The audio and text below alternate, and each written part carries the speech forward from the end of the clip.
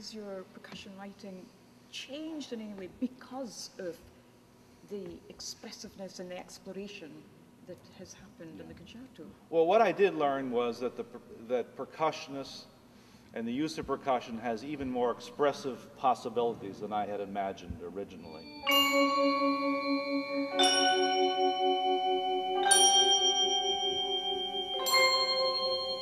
Because of the extraordinary players like yourself that are out there today, um, with an enormous capacity to create really wonderful sounds and to bring a new world to the world of the orchestra, for example.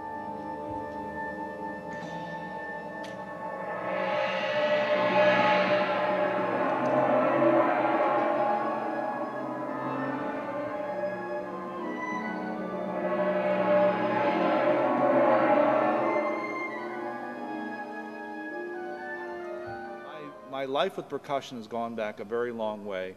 And the way I feel now is that I've just begun to, s- begun to scratch the surface of what's possible. Oh. This is a very different world with all oh, the instruments involved and, and lo- the logistics of a stage like this. As I see it now, from my point of view, the percussion is, is just as important as the winds, as the strings, and as the brass. Mm-hmm. And you see that by the amount of percussion I use in my music. And if there are enough composers who write important music um, that engage percussion in a major way, then this will happen. It's interesting with the percussion concerto how you know the audience seem to connect very well to the music.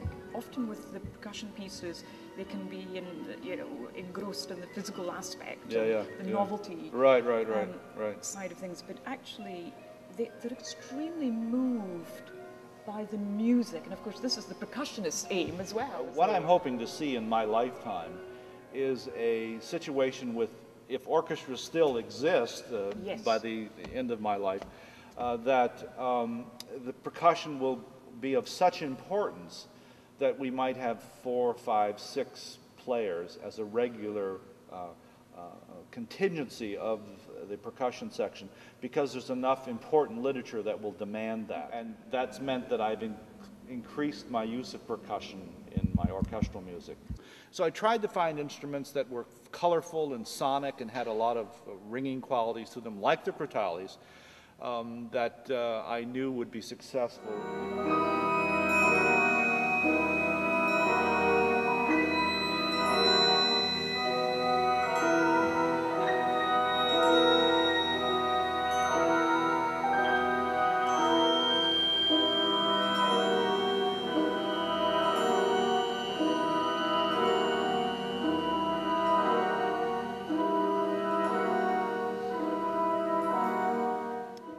So, as well as the wind band version, you mentioned recently a two piano version, Heavens Above. Excellent. I mean, this is great news for us. Well, uh, the way that that came about is um, a young uh, musician in the UK was preparing for a concerto competition, uh, young percussionist, and one of his musician friends uh, made a transcription of the orchestra for two pianos.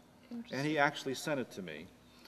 And I believe evidently the uh, young percussionist did win the competition, so it was very helpful.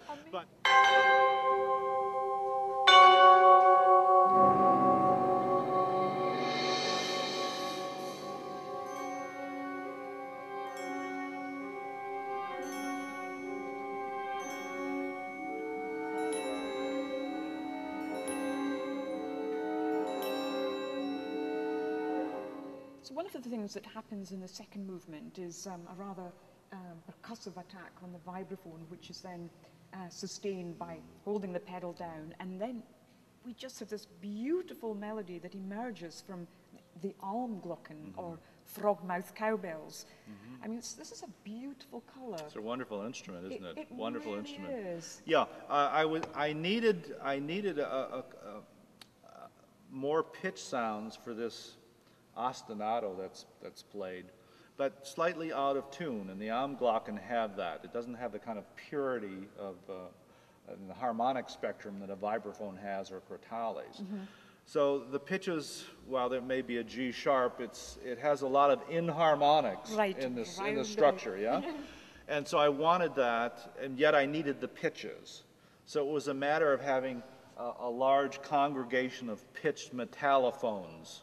I've had a good number of performances really all around the world, uh, even in Japan, surprisingly. There's really wonderful wind ensembles in Japan. Yes. There has been a wind band version made of the percussion concerto. Right, right. So now, was this something that you wanted to do? Did you feel it was a good idea? Well, I actually didn't do it. Uh-huh. Uh, It was done by a doctoral student when I was teaching at Eastman, who did it as a thesis. He was a conducting, he was a composer conducting major. Wow.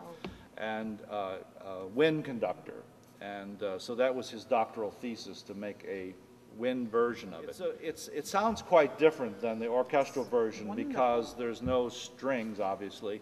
And the clarinets have to substitute, essentially, it's the clarinets and the winds that substitute for the strings. Uh, the piece, uh, in the many performances that I've heard of the wind version, is much clearer actually, and you hear things you don't hear in the orchestral version because the strings have a tendency to mask a lot of the sounds.